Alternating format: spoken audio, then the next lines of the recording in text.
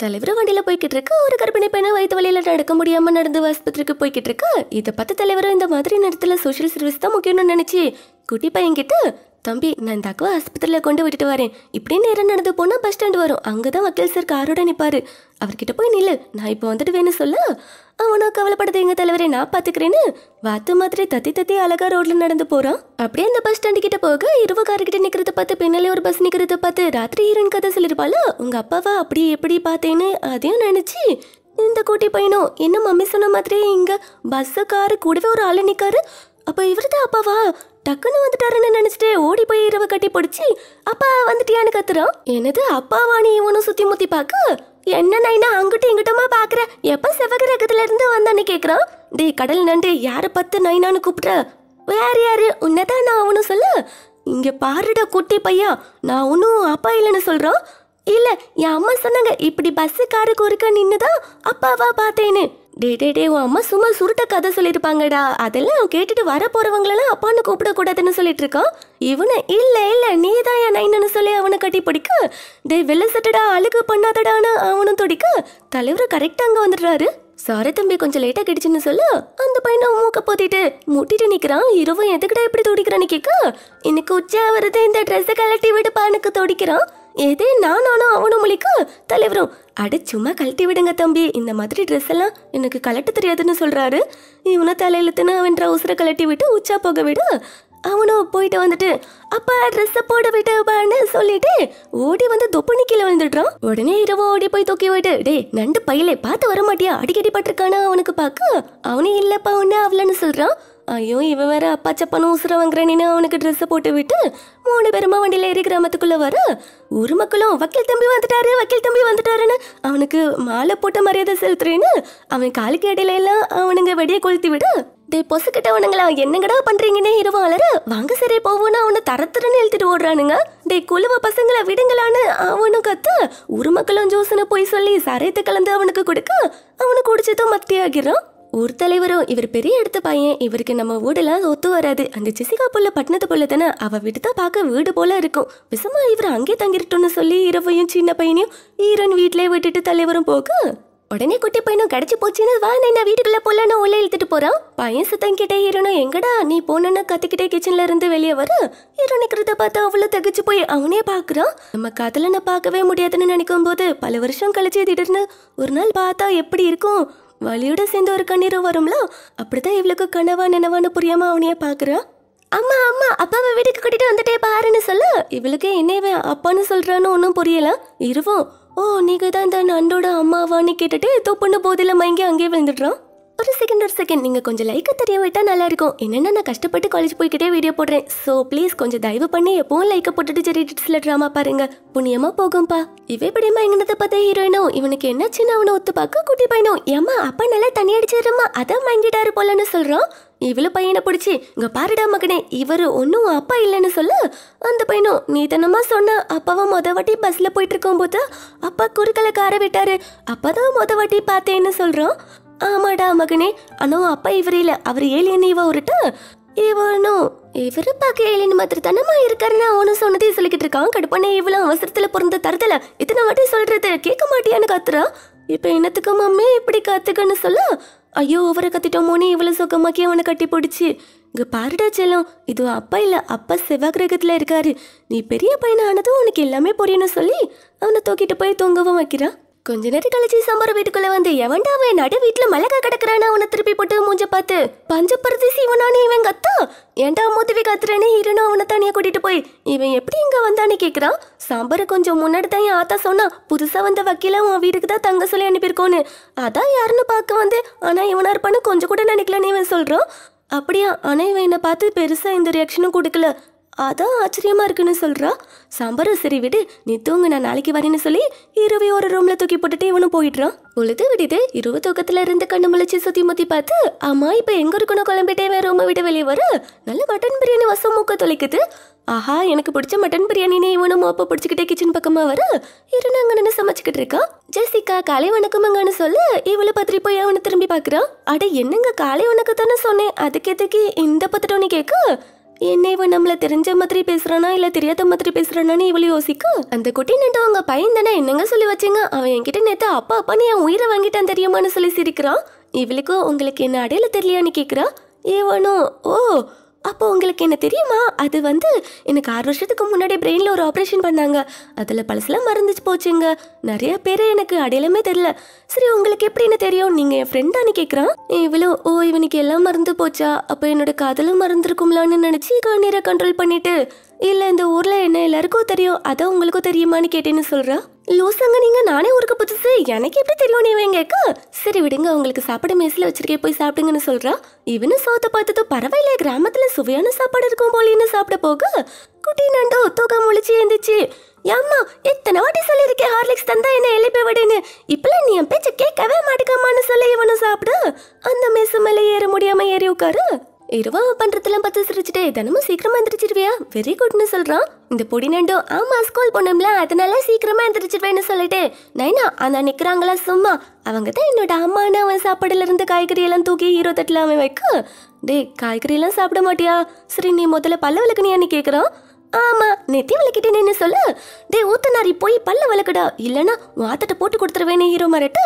ஓ எங்க வீட்ல இருந்துட்டு என்னவே மிரட்டுறீங்களா? இருங்க உங்களை வந்து வச்சுக்கிறேன்னு சொல்லிட்டு அவனை இறங்கி கூடு கூடுன்னு ஓடு. இருவ சிரிச்சுக்கிட்டே சாப்பிடலான்னு ஒரு வாய் எடுத்து சாப்பிட்டு போகு. என்னங்க வக்கீல இருக்கிறான்னு ஊர் மக்கள் எல்லாரும் கம்பலா ஹீரோயின் வீட்டுக்கு முன்னாடி வந்து நிக்க. இவனும் ஐயோ இவங்க தொல்லை பெருந்தொல்லையா இருக்கேன்னு மொக்கால வழுதுகிட்டு வெளியே போய் என்னமா வேணும்னு கேக்குறான்? அவங்களும் என்ன வக்கீல எப்பதான் எங்க கேஸ் எடுத்து நடத்துவீங்க? எங்களுக்கு கோர்ட்டுக்கெல்லாம் போய் பார்க்கணுன்னு ஆசையா இருக்கலாம்னு கேக்குறாங்க.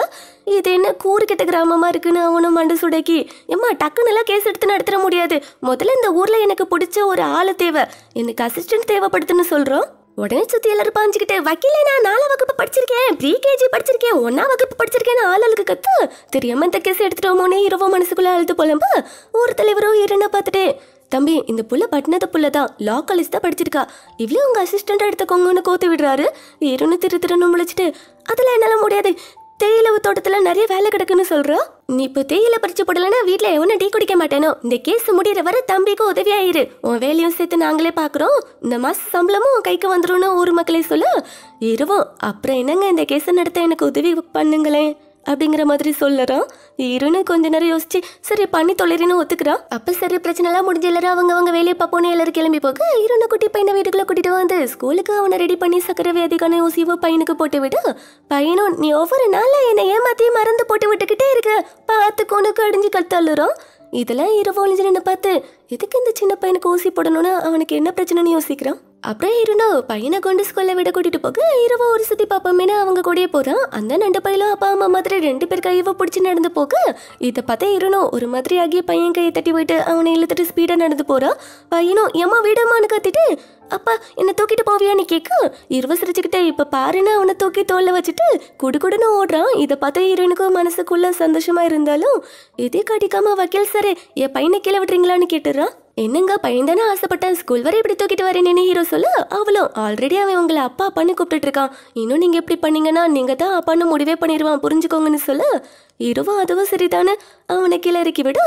இருன்னு கையை பிடிச்சி கூட்டிட்டு போய்கிட்டு இருக்கான் அம்மா பையனுக்கு என்னாச்சு? காலையில உனக்கு உசிலா போட்டி விட்டீங்களான்னு கேட்க அவளும் பையனுக்கு பொறுக்க போதே சக்கரை வியாதி இருக்குன்னு சொல்றான் இதை கிட்ட அவனு சங்கடப்படுறான். இப்படியே ஸ்கூல்ல வந்துடுது. இரண்டு பையனை கூட்டிட்டு கிளாஸ்குள்ள போக. இரவு வெளியவே நிக்கிறான். அந்த நேரம் அந்த ஸ்கூலுக்கு முட்டவளோடு போட வந்த சாம்பாரும் இவனை பார்த்துட்டு ஓட்டி போய் அவன் சட்டையை பிடிச்சி பொறுக்கி பையில அவன் பின்னாடியே வந்துட்டியா? இப்போ ஸ்கூல் வர வர வந்துட்டியா? அவளை நிம்மதியாகவே இருக்க விட மாட்டியான்னு கண்ணா பின்னாடி திட்டு ஹீரோவும் யாருடா நீ கோமலி புரியுற மாதிரி சொல்லுடா ஒன்றும் விளங்கலன்னு சொல்கிறான் அந்த நேரம் பையனை விட்டுட்டு ஹீரோயின் அங்கே வந்து சாம்பாரத்தை எடுத்து நிறுத்திட்ட சாம்பார் நீ நினைக்கிற மாதிரி இல்லை. அவன் அவனோட பழைய ஞாபகங்கள் எல்லாம் ஆப்ரேஷனில் மறந்துட்டான்னு சொல்கிறான் இது கிட்ட சாம்பாரும் என்னது உண்மையாவான்ற மாதிரி ஹீரோவை பார்க்க அவனும் ரெண்டு பேரும் எதை பற்றி பேசுகிறீங்க ஒன்றும் புரியல.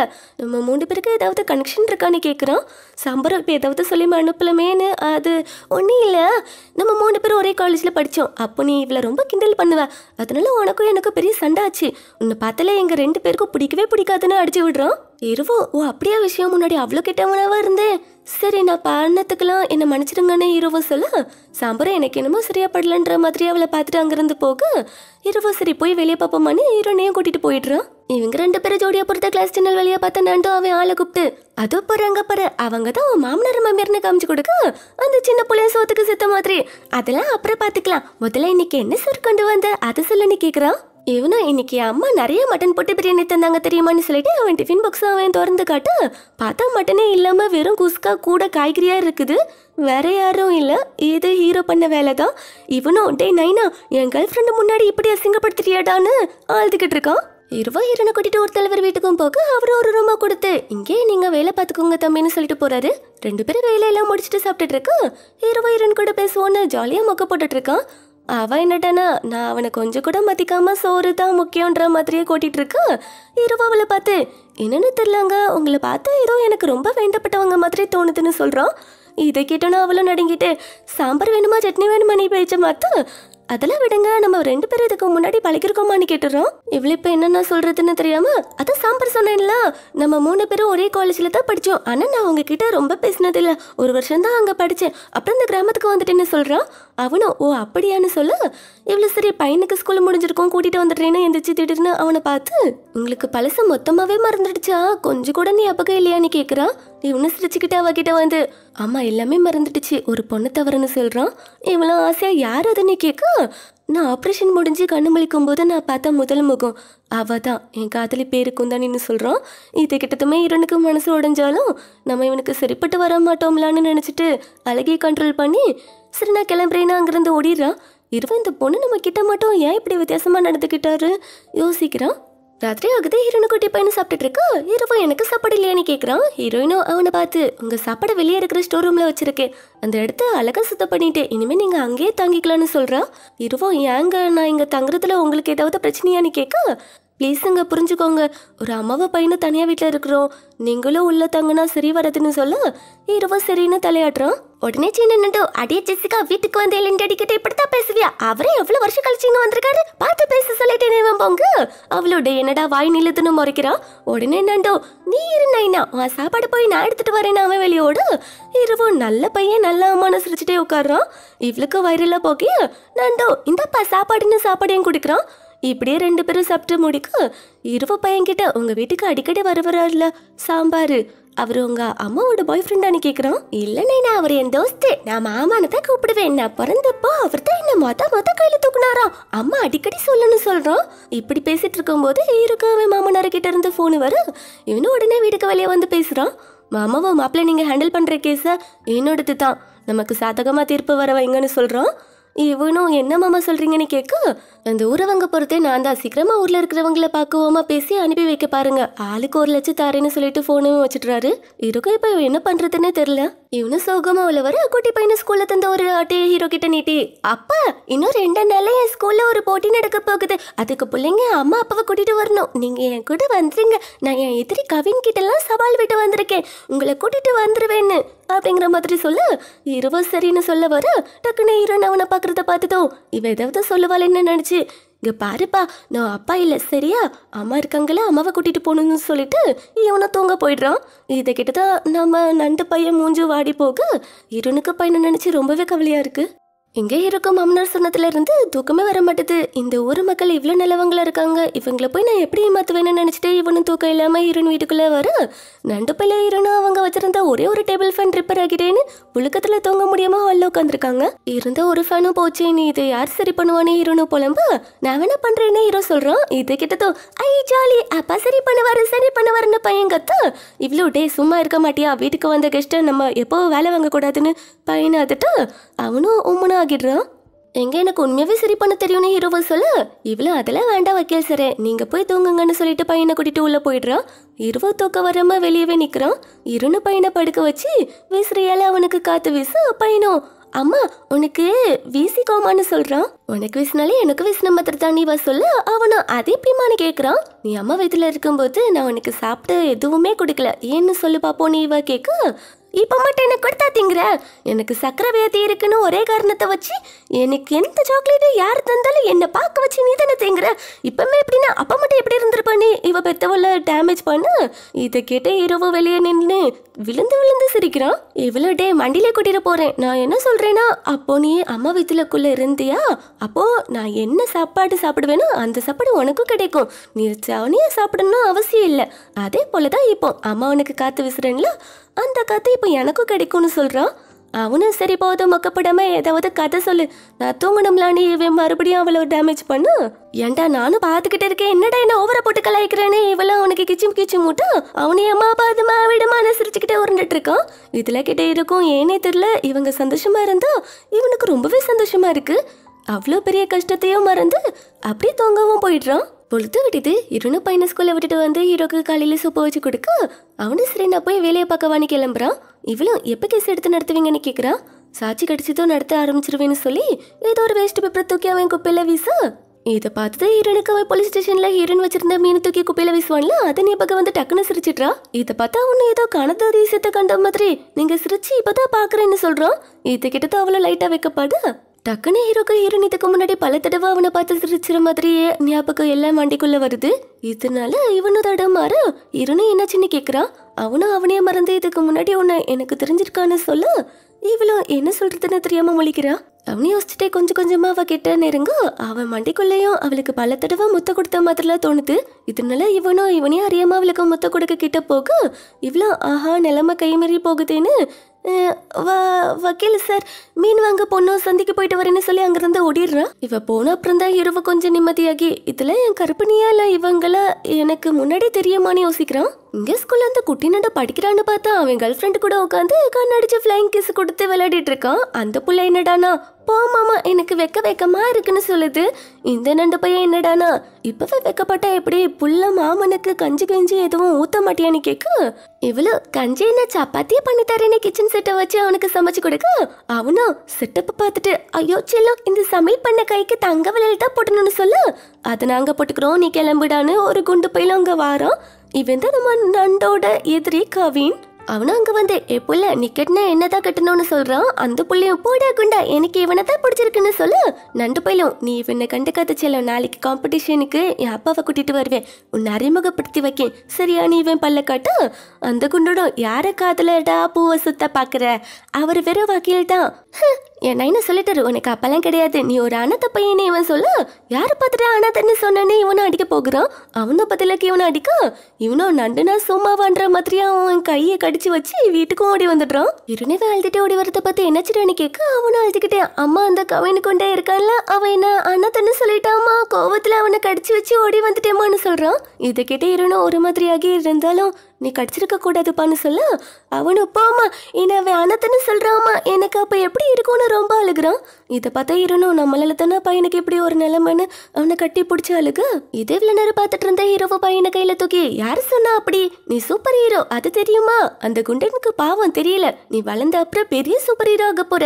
ஒரேஞ்சு தெரியாம அப்படி பேசிருப்பான் அதுக்கெல்லாம் சூப்பர் ஹீரோ அழக்கூடாதுன்னு அவனை சமாதானப்படுத்துறான்? அப்ப நான் சூப்பர் ஹீரோவா நீ கேட்க ஹீரோவா ஆமா நீங்க தான் வருங்கால சூப்பர் ஹீரோ நீ தான் உன் அம்மாவை எல்லா கெட்டவங்க கிட்ட இருந்தும் பாதுகாக்க போறேன்னு சொல்றான். உடனே இவனும் அழகிய நிறுத்தி கண்ணை தொடச்சிட்டு சரிங்க எலினப்பா நீங்க சொன்ன மாதிரியே நானும் பெரிய சூப்பர் ஹீரோ ஆகி காட்டுவேன். சீக்கிரமே நான் உங்களை மாதிரி பெருசா வளரணும். அப்பதான் அம்மாவை நான் பாதுகாக்க முடியும்னு சொல்லி ஓடி போய் அம்மாவை கட்டி பிடிச்சிக்கோ இவளுக்கு போய் நினைச்சு ரொம்பவே பெருமையா இருக்கு. உடனே இவனும் மறுபடியும் ஹீரோ கிட்ட ஓடி போய் நீ சொன்னது கரெக்டுப்பா அம்மா ஒரு மக்கு. அதுக்கு ஒன்றும் தெரியாது. வேற வழி இல்லை. நான் தான் பாதுகாக்கணும்னு சொல்றோம்.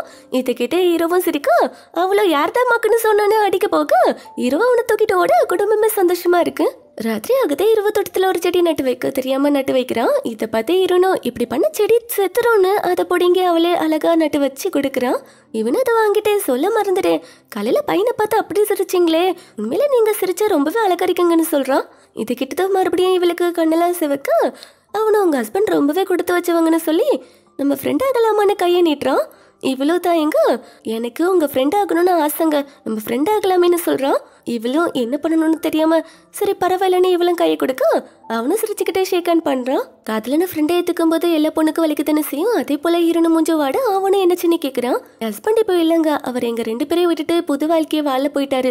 திரும்ப வரவே மாட்டார்னு சொல்கிறான் இதை கேட்டு அவனு சாரிங்க தெரியாம கேட்டுட்டேன்னு சொல்கிறான் பரவாயில்லங்க. எனக்கு அவருக்கு செட் ஆகாது. அந்தஸ்து வேற அவரோட அந்தஸ்து வேற. முன்னாடி ரொம்பவே சந்தோஷமாக தான் இருந்தோம். ஆனால் ஒரு கட்டத்துக்கு மேலே எனக்கு புரிஞ்சிருச்சு. இவருக்கு எனக்கு செட் ஆகாதுன்னு. ஆனால் எனக்கு இப்படி ஒரு தங்க கட்டு மாதிரி ஒரு பையனை கொடுத்ததுக்கு நான் அவருக்கு நன்றி தான் சொல்லணும்.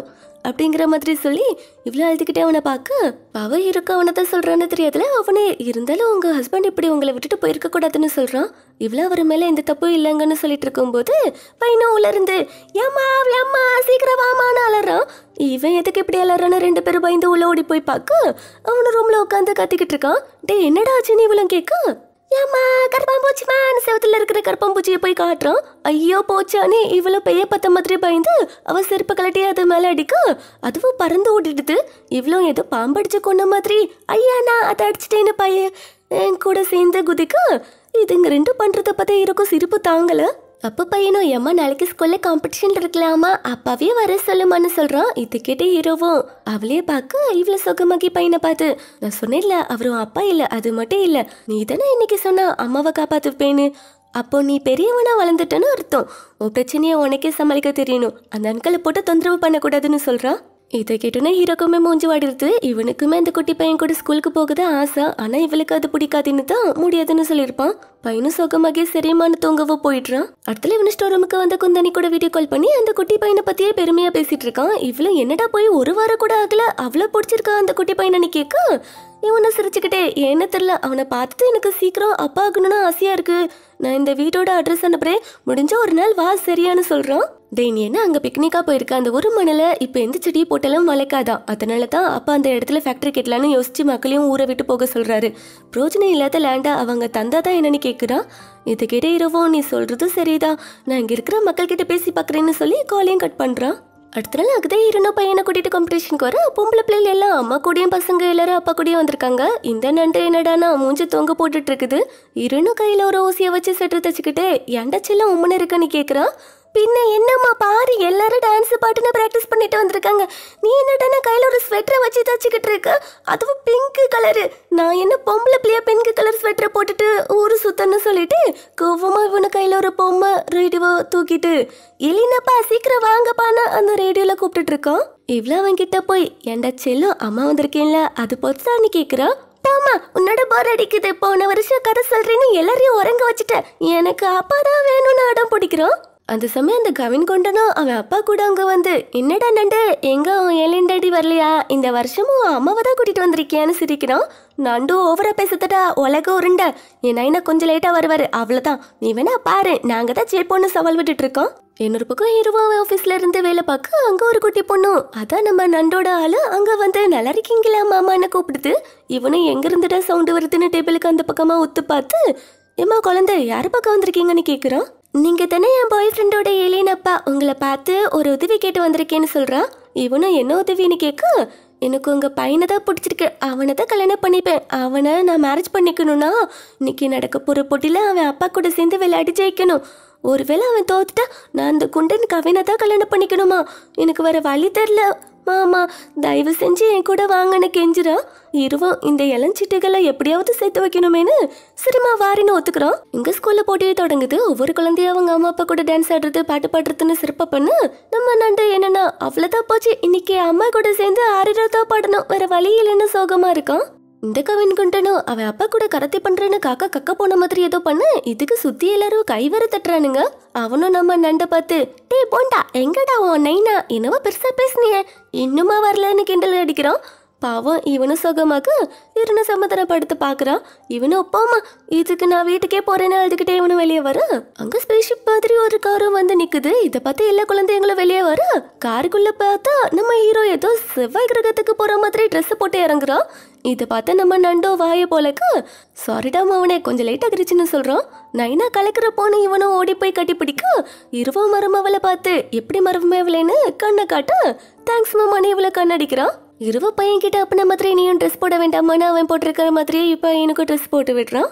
அடுத்தால நம்ம ஹீரோ தான் நல்லா ஸ்கெட்டிங் பண்ணுவானே அவனும் அந்த செருப்பை அவனும் மாட்டி பையனுக்கு போட்டு விட்டு வா மகனை ரெண்டு பேரும் ஸ்கெட்டிங் பண்ணி நம்ம திறமையை காட்டுவோன்னு பையன் கூட சேர்ந்து ஸ்கெட்டிங்கும் பண்ண சுற்றி எல்லாருமே சூப்பர் டூப்பர்னு பாடாட்டுறாங்க எந்த பொண்ணுக்கு தான் தன்னோட கணவனை பையனை சேர்ந்து விளையாடுறத பார்க்கும்போது சந்தோஷம் வராது.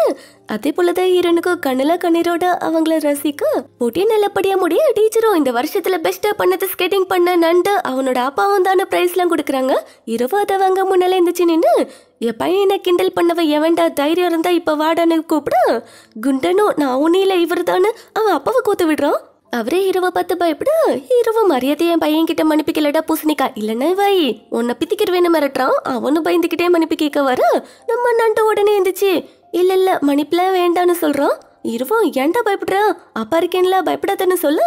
பரவாயில்ல வக்கீல் சார் எனக்கு தெரியும் நீங்க என் உண்மையான அப்பா இல்லைன்னு. அது மட்டும் இல்ல நான் என் அப்பா இல்லைன்னு நினைச்சிட்டு இருக்கேன்ல அதுவும் உண்மை கிடையாதுன்னு எனக்கு தெரிஞ்சிடுச்சு. உண்மையான அப்பா எங்க இருக்காருன்னு தெரியல. எப்படியும் என்ன பார்க்கவும் வர மாட்டாரு. உங்களை எனக்கு அப்பான்னு கூப்பிட்டு ரொம்ப பிடிச்சிருந்துச்சா? அதான் அப்பான்னு கூப்பிட்டுட்டு இருந்தேன். பரவாயில்ல நீங்கள் எனக்கு ரொம்ப உதவி பண்ணிட்டீங்க. இன்னைக்கு அம்மா சாம்பார் மாமா எப்பவும் கூடவே இருப்பாங்க. எனக்கு அதுவே போதும்னு ரொம்ப பெரிய பையன் மாதிரி நம்ம ரெண்டு பேச இதை கேட்ட ஹீரோயின் மட்டும் இல்லாமல் சுற்றி இருக்கிற எல்லாருமே அழுதுடுறாங்க. இருபத்தி நாள் சின்ன பையனை நினைச்சவன் இப்போ இவ்வளோ பேசுறானேன்னா அவனுக்கு ரொம்பவே மனசு கஷ்டமாகுது. அவங்க நம்ம நண்டு அப்பா கிட்ட இருந்தோ அப்பா பாசத்துக்கு ஏங்குறான். இது கிட்டத்தான் கவின் கொண்டனும் மனசு மாதிரி. சாரிடா மச்சான் நீ ஃபீல் பண்ணாத. நம்ம இனி சண்டை போட்டுக்காண்டா. உன் ஆளை நீயே வச்சுக்கோ. நம்ம ஃப்ரெண்ட்ஸா இருக்கலாம்னு சொல்றான் இது கிட்ட நண்டோ விட மாமே. இனி நம்ம ஒன்னாவே விளையாடுவோம்னு சொல்லு. சுத்தி எல்லாருமே இப்படிதான் அப்பா இருக்கணும்னு கை தட்டி உற்சாகப்படுத்துறாங்க. ஸ்கூல் முடிஞ்சு இவங்கள வீட்டுக்கு வர இரவு பையனுக்கு கொஞ்சம் கொஞ்சம் ஸ்கிட்டிங் சொல்லி கொடுக்குறான். விளையாடிட்டு இருந்த பையனும் ஐயோ எனக்கு உச்சா வருதேன்னு இருப்பா வாரேனே இவன் உள்ள ஓடு. அந்த சக்கல ஹீரோவும் இருன்னு பார்த்து வாங்களே அவன் வர வரைக்கும் நீங்க என் கூட விளையாடுங்கன்னு கூப்பிடுறான்.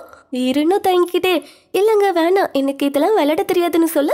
அட்ட சும்மா வாங்க நான் சொல்லி தரேன்னு ரொம்பவே ஃபோர்ஸ் பண்ணி கூப்பிட்றான். இருன்னு வர வழி இல்லாம சரின்னு சொல்லிடுறான்.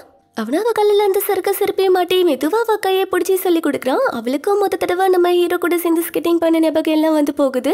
இவளுக்கு தான் வருதுன்னு பார்த்தா ஹீரோக்கு இவங்க கூட முன்னாடி ஸ்கேட்டிங் பண்ணியிருக்கோமோன்னு கொஞ்சம் கொஞ்சமாக மண்டிக்குள்ளே வந்து போக. இவனு திணறி அவள் கையை விடுறான். இதனால இவ்வளோ தடுமாறி அவன் மேலே விழு. படர்ந்து ரெண்டு பேரும் கீழே விழுந்துடுறாங்க. ஹீரோவை அவளை வச்சுக்கன்னு வாங்காமல் பார்க்க இவ்வளோ சாரி சாரி வக்கீல் சார் நான் உடனே எந்திரிச்சு என்னாச்சு ஏன் தடுமாறுறீங்க?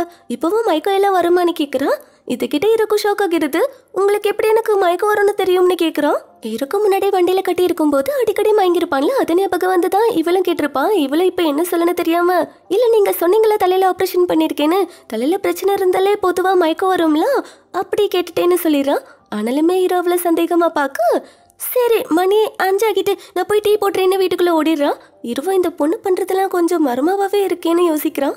ராத்திரி அகத்த கூட்டு பையனும். இன்னைக்கு ஹீரோ அவனுக்காக ஸ்கூல்ல வந்தானே? அவனை ஊஞ்சல் உட்கார வச்சு இவன் தல இருவன் சிரிச்சுக்கிட்டே ஜாலியா என்ஜாய் பண்றான். விளையாடி முடிஞ்ச ஹீரோன பையனை வீசி வீசி தூங்க வைக்க ஹீரோவா அந்த டேபிள் ஃபேனை சரி பண்ணி கொடுத்துட்டு போக. குட்டி பையனும் ஃபேனை காத்து கடிச்சதும் குஷியாகி அம்மா நீங்க இவ்வளவு பேர் என் கூட இருக்கீங்க. இதுவே எனக்கு இவ்வளவு சந்தோஷமா இருக்கே. அப்ப அப்பாவும் நம்ம கூட இருந்தா நான் இன்னும் சந்தோஷமா இருந்திருப்பேன்லான்னு சொல்லிட்டு அப்படியே தூங்கிடுறான். இருனு பையனை கட்டி பிடிச்சி அப்பா உன் கூடவே தான் இருக்காருடா. இவர் தான் அப்பான்னு சொல்ல முடியாத நிலைமையில தான் நான் இருக்கேன்னு நினச்சிட்டு அவனை படுக்க வச்சுட்டு இவ்வளோ வெளியே வரா? இருவா மறந்த கையும் பண்ணிக்கிறான் இவ்வளோ என்னாச்சு நீ கேட்க நீங்கள் வாங்க சொல்கிறேன்னு அவளை இழுத்துட்டு போய் உட்கார வச்சு நம்ம ஹீரோயின் ஸ்கேட்டிங் பண்ணும்போது ஹீரோ மேலே விழுந்திருப்பாளா? அதில் அவளுக்கு கால் மட்டும்லாம் ஒரு சிறிய கிரல் தான் பட்டிருக்கும். அதுக்கு ஏதோ காலே போன மாதிரி ஹீரோவும் அவளுக்கு மருந்து போட்டு விட. ஹீரோனுக்கும் நம்ம ஹீரோ இதுக்கு முன்னாலே அவளுக்கு இதே போல் மருந்து போட்டு விட்டுறதுலாம் ஞாபகம் வந்து கண்ணீர் வடிக்கிறான். இதை பார்த்து ஹீரோவும் என்னாச்சு ஏன் அழுகுறீங்கன்னு கேட்டுறான். என் பையன் இவ்வளோ சந்தோஷமாக இருந்து நான் பார்த்ததே இல்லை. நீங்கள் வந்து இந்த ஒரு வாரத்தில் என் பையன் இவ்வளோ சந்தோஷமாக இருக்கான்னு பார்க்கும்போது ரொம்பவே சந்தோஷமாக இருக்குது ரொம்ப நன்றின்னு அவனை பார்த்து அழுதுட்டே சொல்கிறான் அவனை என்னங்க நீங்கள் இதுக்கு போய் நன்றின்னு பெரிய வார்த்தைலாம் சொல்லிட்டு இப்படி ஒரு பையன் கிடைக்க நீங்கள் கொடுத்து வச்சுருக்கணும். இவனை பார்த்து தான் இப்போ எனக்கு அப்பா ஆகணுன்ற ஆசையே வருது. நான் இங்கே இருக்கிற வரைக்கும் உங்கள் ரெண்டு பேரும் நான் நல்லாவே பார்த்துக்கிறேன்னு சொல்கிறான் இருனும் எதுவுமே பேசாமல் லேசாக சிரிக்கிறான் இருவ சரி நீங்க தூங்குங்கன்னு சொல்லிட்டு வெளியே அவன் தங்கி இருக்கிற ஸ்டோர் ரூமுக்கு வந்து அவன் மாமனார் இந்த லேண்டை எழுதி வாங்க சொன்ன டாக்குமெண்ட் எல்லாத்தையும் கிழிச்சு குப்பையில போடுறான். ஏன்னா இப்போ ஹீரோனும் அவன் பையனும் கூட இந்த ஊர்ல தானே இருக்காங்க. அதனால ஹீரோக்கு இவங்களை ஏமாத்தி இந்த ஊரை வாங்குறதுக்கு மனசு வரல. உடனே அவன் மாமனருக்கு ஃபோனை போடு. அவரும் மாப்பிள்ள அப்புறம் லேண்ட் வாங்கியாச்சா? எப்போ வரீங்கறீங்க கேட்குறாரு சாரி மாமா கண்ணீரும் உப்பு தான் கடல் நீரும் உப்பு தான் உங்கள் பேச்சு கேட்டு இவங்களை ஏமாத்த பார்க்குறீங்களா நான் பண்ணுறது பெரிய தப்பு தான் உங்களுக்கு இந்த லேண்ட்லாம் வேண்டாம். வேறு நல்ல இடமா என்னோட சொந்த இடத்தையே கூட உங்களுக்கு தாரேன். அதில் ஃபேக்ட்ரியோ சிமெட்ரியோ கெட்டி வாழுங்க. தூரம் விட்டுருங்கன்னு சொல்லி ஃபோனையும் வச்சிட்றான். இதை கேட்ட மாமாவை மண்டை சூடாக்க ஈரேனோ ஹீரோ பேசின எல்லாத்தையும் ஒளிஞ்சிட்டு கேட்டுட்டு உள்ளேயும் போயிடுறான். அடுத்த நாள் ஆகுது இருபத்தொங்க மலிச்சு வர நண்டு ஸ்கூலுக்கு போறதுக்காக தயாரா நிக்கிறான். டே எந்திரிச்சிட்டியா அன்னைக்கு ஹீரோ கேட்க நீங்க என் அப்பா இல்லல அப்புறம் ஏன் மகன் என்ன கூப்பிடுறீங்கன்னு கேக்குறான்? டேய் குட்டி கொஞ்சம் நேத்துல இருந்து பாக்குறேன் ஓவரா போற. ஆமா நான் உன் அப்பா இல்லதான். அதுக்கு என்ன? இவ்வளவு நாள் ஏலியன் அப்பான்னு தானே கூப்பிட்டுட்டு இருந்த. அப்படியே கூப்பிட்டுன்னு சொல்றான். உடனே நண்டு குஷியாகி அப்படின்னா சரின்னு சொல்லிருக்கிறான். இருனா அங்க வந்து டே நீ இன்னுமா கிளம்பலன்னா அவனுக்கு ஒழுங்கா ட்ரெஸ் போட்டு விடுறான்? இதை பார்த்தா ஹீரோவா அவனே அறியாம ஹே முடி முகத்துல விழுத்து பாருன்னு அவன் முகத்துல விழுற முடிய இவன் கையில தள்ளி விட இருனுக்கு ஒரு செகண்ட் உச்சி மண்டையை குழந்துருது. இவனும் ஓவரா பண்ணிட்டோமோன்னு போய் உட்காரு. பையனும் அம்மா உன் கையெல்லாம் நேற்று சுரிஞ்சுக்கிட்டே இருந்தியே இப்போ சரியாகிட்டான்னு கேட்குறான் இதை கேட்ட இரவும் எங்க கைக்கு என்னாச்சுன்னு கேட்குறான் இவளும் ஒன்றும் இல்லைங்க. தேயிலை பறிக்க போவேன்ல. மண்ணு பட்டு கையில் அரிப்பா வந்து கொஞ்சம் புண்ணு வருது. ஒன்றும் இல்லை சரியாகிட்டுன்னு சொல்கிறான் இதுகிட்ட இருக்கும் மண்ணுப்பட்டா எப்படி கையில் புண்ணு வரும்னு யோசிச்சு ஏதோ தப்பா இருக்கேன்னு கேஸ் பண்ணுறான் அது மட்டும் இல்லாமல் தோட்டத்தில் இருக்கிற பூவெல்லாம் வாடி போயிடுது. ஆனால் வீட்டில் இருக்கிற பூச்செடியெல்லாம் நல்லா தானே இருக்குன்னு யோசிச்சு அப்போ தேயிலை தோட்டம் மண்ணில் ஏதோ பிரச்சனை இருக்குன்னு அதில் தான் ஒரு விஷயமும் தெரிய வருது. அது என்னன்னா இருவட மாமனார் பையன் இந்த இடத்த எப்படியாவது வாங்கிடணும்னு வேணுனே தோட்ட மண்ணில் ஃபேக்டரி கழிவுகளை கலந்து விட்டுருப்பான். இதனால தான் எங்கள் செடி எல்லாமே நாசமாக போகுது. கிராமத்து மக்களுக்கும் வருமானமே இல்லை. இந்த ஒரு பாயிண்ட் போதுமே அப்படிங்கிற மாதிரி ஹீரோவும் மக்கள்கிட்ட இன்னும் ரெண்டு நாளில் இந்த பிரச்சனை முடிஞ்சிரும்னு மக்களுக்கு வாக்கு கொடுக்குறான்.